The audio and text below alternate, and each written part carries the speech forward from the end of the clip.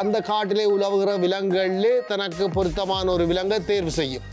தேர்வு செய்து அந்த விலங்கை இறங்கி போய் அந்த விலங்கை நெருங்கி கர்ச்சித்து கொண்டு அந்த விலங்கை பாய்ந்து அடித்து வீழ்த்தி கொல்லும். மகாராசா நான் உங்களுக்கு சேவை செய்ய விரும்புகிறேன் உங்களோட இருக்க விரும்புகிறேன். நீங்கள் என்ன உங்களுடைய பணிக்கு சேர்த்து கொள்ள வேண்டும் என்று சொல்லி மிகவும் மன்றாட்டமாக கேட்டது. மகாராசா உங்களுக்கு சகல வலிமையும் உண்டாகட்டும் என்று மூன்று தரம் சொன்னால் எனக்கு வந்த வலிமை வந்துவிடும். நானும் சிங்கம் போல வேட்டையாடலாம் சிங்கம் சொன்னது ஓனாயே சிங்கம் சிங்கம்தான் ஓனாய் ஓனாய்தான் ஓனாய் ஒரு காலம் சிங்கமாக முடியாது சிங்கம் ஒரு காலம் ஓனாயாக முடியாது.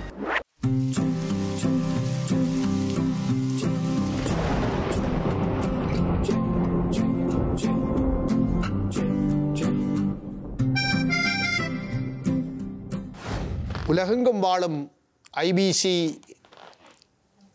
தம்பி தங்கைகளுக்கு இனிய வணக்கம். நாங்கள் கதை கதையாம் காரணமாம் என்ற நிகழ்வு வாயிலாக உங்களை சந்திக்கின்றோம். அந்த வகையில் இன்றும் நான் உங்களுக்கு ஒரு கதை சொல்ல விரும்புகின்றேன். இன்றைக்கு நாங்கள் கேட்க இருக்கின்ற கதை சிங்கமாக நினைத்த ஓநாய்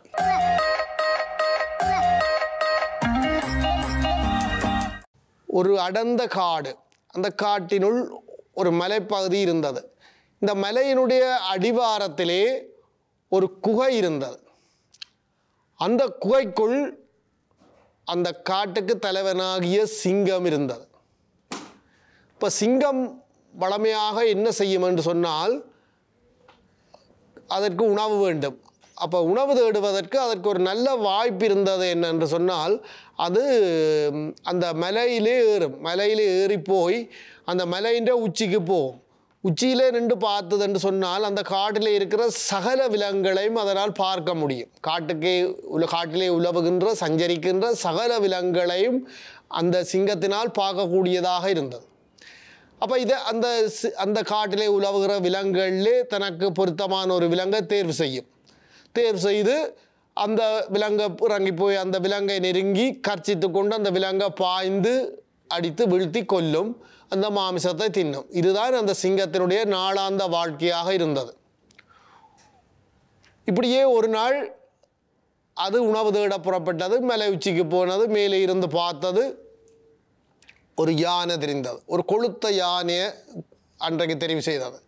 இறங்கி போய் கர்ச்சித்து கொண்டு அந்த யானை மீது பாய்ந்தது. அந்த யானையை கொன்று அதன் இறைச்சியை உண்டு. உங்களுக்கு தெரியும் யானை இறைச்சி என்று சொன்னால் யானை உள்ள பெரிய ஒரு பெரிய வி- மிருகம் ஆகவே அந்த யானைன்ற இறைச்சி தாராளமாக கிடைக்கும் அவ்வளவையும் சாப்பிட்டு அது மிகவும் மகிழ்ச்சியாக சந்தோஷமாக வந்து கொண்டிருந்தது அந்த நேரத்திலே ஒரு ஓநாய் வந்து கொண்டிருந்தது இந்த ஓநாய்க்கு ஒரு பிரச்சனை என்னென்று சொன்னால் சிங்க சிங்கத்தை போல தானும் சிங்கத்தோடு சேர்ந்து சிங்கத்தோடு சேர்ந்து சிங்கத்து உணவை பகிர்ந்து கொள்ள வேணும் என்பது ஆகவே சிங்கத்துக்கு எதிரே வந்து த- மிகவும் குளவாக தலையை குனிந்து வளைந்து சிங்கத்திடம் கேட்டது ஐயா மகாராசா நான் உங்களுக்கு சேவை செய்ய விரும்புகிறேன் உங்களோட இருக்க விரும்புகிறேன்.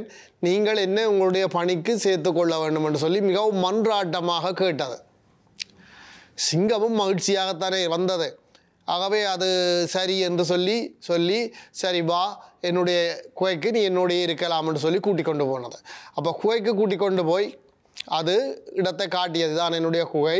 இங்கே உன்னுடைய வேலை என்னன்னு சொன்னால் ஒவ்வொரு நாளும் காலையில் இந்த மலை உச்சிக்கு போக வேண்டும். மலை உச்சியில் இருந்து பார்த்தால் எல்லா விலங்குகளும் தெரியும். இதில் எனக்கு ஒரு விலங்கு என்ன செய்ய வேணும்? நீ தெரிவு செய்து கொள்ள வேணும். இன்றைக்கு வேட்டைக்கு தேவையான அந்த விலங்கை தெரிவு செய்து செய்து கொள்ள வேணும். அப்படி தெரிவு செய்த பிறகு எனக்கு வந்து அந்த சொல்ல வேணும். சொன்னால் நான் அந்த விலங்கை என்ன செய்வேன்? போய் கொன்று விடுவேன். கொன்று அதை வேட்டையாடி அதை நான் இறைச்சியை உண்டா. பிறகு உனக்கு நான் ஒரு பகுதி தருவேன். இதுதான் உனக்குரிய கூலி என்று சொன்னது. ஓநாயும் மகிழ்ச்சியாக ஏற்றுக்கொண்டது. இப்படியே ஒவ்வொரு நாளும் சிங்கம் சிங்கத்துக்கு வந்து ஊனை வந்து அந்த ஒவ்வொரு பிராணியை தெரிவு செய்து வந்து சொன்னது. சிங்கம் வந்து போய் வேட்டையாடியது. அதனுடைய பகுதி உணவு ஓநாய்க்கு கிடைத்து வந்தது. இது ஒழுங்காக சாப்பாடு. ஆகவே ஓநாய்க்கும் கஷ்டப்பட வேண்டிய தேவையில்லை. வயிறு நிறைந்த சாப்பாடு. இப்போ ஓநாயும் கு குறுகிய காலத்துக்குள்ளே நல்லா கொளுத்துட்டது. ஓநாயும் நடக்க முடியாமல் சரியாக கஷ்டப்பட்டது. ஏன்னா அவ்வளோக ஓநாயும் கொளுத்துட்டது. அப்போ இப்படி இருக்கைகளே ஓனாய் ஒரு நாள் யோசிச்சு கொண்டிருக்கைகளே ஓனாய்க்கு ஒரு விபரீத ஆசை வந்து விட்டது என்ன ஆசை என்றால் தம்பி தங்கங்களே இதான் நாங்கள் இந்த தொடக்கத்தில் பார்த்து நாங்கள் அந்த கதையின் தலைப்பு சிங்கமாக நினைத்த ஓனாய் இப்போ ஓனாய்க்கு என்ன ஆசை என்று சொன்னால் இந்த சிங்கம் வந்து ஏன் வேட்டையாடுதுன்னு சொன்னால் இந்த சிங்கம் ஒரு ஒரு ஒரு ஒரு விஷயத்தை சொன்னது ஓனாய்க்கு என்ன சொன்னதுன்னு சொன்னால் ஒவ்வொரு நாளும் அந்த விலங்கை தெரிவு செய்து போட்டு வரிக்குள்ள வந்து என்ன எனக்கு சொல்ல முதல் ஒரு வசனம் சொல்லணும் மாராசா உங்களுக்கு சகல வலிமையும் உண்டாகட்டும். இந்த சகல வலிமையும் உண்டாகட்டும் என்று மூன்று தரம் சொல்லி போட்டுத்தான் அந்த விலங்கை சொல்லணும். விலங்கு ஒன்று வந்திருக்கிறதுன்றதை சொல்லணும். இப்படித்தான் இது ஒவ்வொரு நாளும் சொல்லி வந்தது. அப்போ இது இந்த ஓனா யோசிக்கிறது என்னென்னு சொன்னால் இப்படி ஒவ்வொரு நாளும் நான் அந்த சொல்லுவதன் மூலமாக அந்த மந்திரத்தின் மூலமாகத்தான் சிங்கத்துக்கு வலிமை வருகிறது என்று யோசித்தது. ஆகவே மகாராசா உங்களுக்கு சகல வலிமையும் உண்டாகட்டும் என்று மூன்று தரம் சொன்னால் எனக்கு வந்த வலிமை வந்துவிடும். நானும் சிங்கம் போல வேட்டையாடலாம் என்று அந்த சிந்தனை அதுக்கு வந்தது. அப்போ அது சிங்கத்திட்ட சொல்லி சொல்லிச்சது ஒரே ஒரு நாள் ஒரே ஒரு நாள் நீங்கள் எனக்கு ஒரு உதவி செய்ய வேணும் என்று கேட்டது. சிங்கம் கேட்டது என்ன உதவி? என்று. மகாராசா நான் இவ்வளவு நாளும் உங்களுக்கு உண்மையாக விசுவாசமாக உழைத்திருக்கிறேன். நான் என்னுடைய விருப்பத்தை சிலவளை நீங்கள் ஏற்காமலும் விடலாம். ஆனாலும் என்னுடைய ஆசையை நிறைவேற்றத்துக்காக நீங்கள் அதுக்கு உடன்பட வேணும் என்று சொன்னது. சிங்கம் சிரித்துக்கொண்டே சரி என்ன உன்னுடைய ஆசை சொல்லு என்றது மகாராசா நீங்கள் கோபித்து கொள்ளக்கூடாது. ஒரே ஒரு நாள் ஒரே ஒரு நாள் உங்களுடைய இடத்தில் நான் இருக்கிறேன். இவ்வளவு நாளும் நான் செய்து வந்த வேலையை நீங்கள் செய்ய வேண்டும். என்ன வேலை? நீங்கள் மலை உச்சிக்கு போகணும். எனக்குரிய விலங்கை தெரிவு செய்ய வேணும். அது நல்ல கொளுத்த யானையாக தெரிவு செய்ய வேணும் தெரிவு செய்து போட்டு என்னட்ட வர வேணும். வந்து மூன்று தரம் சொல்ல வேணும் மகாராசா உங்களுக்கு சகல வலிமையும் உண்டாகட்டும் என்று. இவ்வாறு மூன்று தரம் சொல் சொன்ன பிறகு நான் போய் அந்த விலங்கை கொன்று கொன்று வேட்டையாடி உங்களுக்கு உணவு தருவேன் என்று சொன்னது. ஒரே ஒரு நாள் பின்னர் நாங்கள் வளமை மாதிரி செயற்படலாம் என்றது. இதை கேட்ட சிங்கத்துக்கு சிரிப்பை அடக்க முடியவில்லை. சிங்கம் சொன்னது ஓனாயே சிங்கம் சிங்கம்தான் ஓனாய் ஓனாய்தான் ஓனாய் ஒரு காலம் சிங்கமாக முடியாது சிங்கம் ஒரு காலம் ஓனாயாக முடியாது. அநியாயமாக நீ உன்னுடைய உயிரை இழக்கப் போகிறாயா? என்று கேட்டது. ஆனால் ஓநாய் அதை கேட்பதாக இல்லை. ஓநாய் மன்றாடியது. மகாராசா நான் இவ்வளவு காலமாக உங்களுக்கு இவ்வளவோ வி இவ்வளவோ விசுவாசமாக உழைத்திருக்கிறேன். உண்மையாக செயற்பட்டிருக்கிறேன். ஆகவே நீங்கள் எனக்கு இந்த ஒரே ஒரு விஷயத்தை மட்டும் செய்ய வேணும். எனக்காக ஒரே ஒரு நாள் உங்களுடைய இடத்தை எனக்கு விட்டு தந்து நீங்கள் போய் எனக்குரிய உணவை தேடி கண்டுபிடிச்சு வந்து சொல்ல வேணும் என்று கேட்டது சிங்கத்துக்கு வேறு வழி தெரியவில்லை. சரி ஏதோ நடப்பது நடக்கட்டும் என்று என்று சொல்லிவிட்டு சிங்கம் போனது. சிங்கம் போய் மலை உச்சிக்கு போனது. மலை உச்சியில் போய் ஓனாக ஓனா கேட்டுக்கொண்டபடி ஒரு கொளுத்த யானையை தெரிவு செய்தது. திரு இறங்கி வந்தது. இறங்கி வந்து ஓநாய்க்கு முன்பாக போய் மிகவும் பணிவாக மகாராசா உங்களுக்கு சகல வலிமைகளும் உண்டாகட்டும். மகாராசா உங்களுக்கு சகல வலிமைகளும் உண்டாகட்டும். மகாராசா உங்களுக்கு சகல வலிமைகளும் உண்டாகட்டும் என்று மூன்று தடவை சொல்லிவிட்டு உங்களுக்குரிய கொளுத்த யானையை நான் தெரிவு செய்திருக்கின்றேன். இன்ன இடத்தில் நிற்கின்றது என்ற சகல விவரங்களையும் சிங்கம் சொன்னது. இதை கேட்ட ஓநாய்க்கு மட்டற்ற மகிழ்ச்சி. துள்ளி பாஞ்சு சென்றது. பாஞ்சு சென்ற ஓநாய் அந்த யானையை பார்த்தது.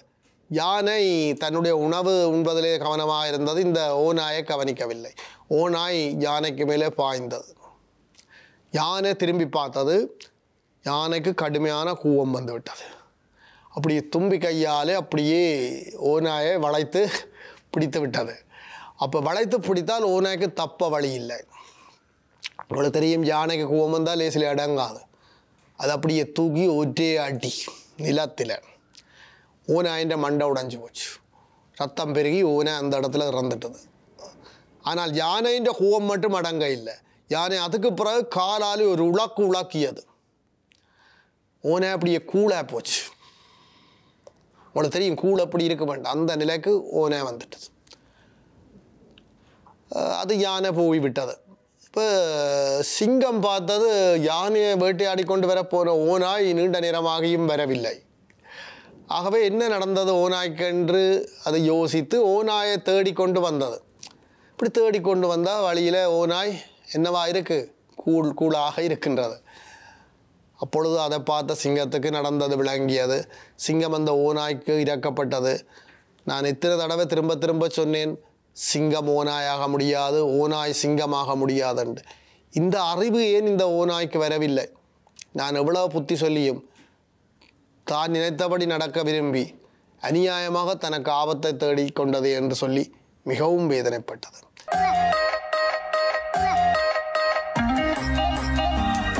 இப்போ இந்த கதையில இருந்து தம்பி தங்கைகளே உங்களுக்கு என்ன விளங்குகின்றது? ஒவ்வொருவருக்கும் என்னுடைய பலம் எது பலவீனம் எது என்று தெரிய வேணும். எங்களுடைய வரையறைக்குள்ளே நாங்கள் நின்று கொள்ள வேணும். நாங்கள் இன்னொருவரை போல பாசாங்கு செய்ய வழிக்கிட முடியாது. எங்களுக்கு உள்ள திறமைகளை கொண்டு நாங்கள் எங்களுடைய இயல்பான அடி அடிப்படையில் நாங்கள் முன்னேற வேணும் என்ற விஷயம் இந்த கதையில இருந்து புரிஞ்சு கொண்டிருப்பீர்கள். நன்றி. நாங்கள் மீண்டும் அடுத்த முறை இன்னொரு கதை வாயிலாக உங்களை சந்திப்போம். உங்களிடமிருந்து விடைபெற்றுக் கொள்வது யாழ்ப்பாணம் உரும்பிராயிலிருந்து இராஜேகுமார்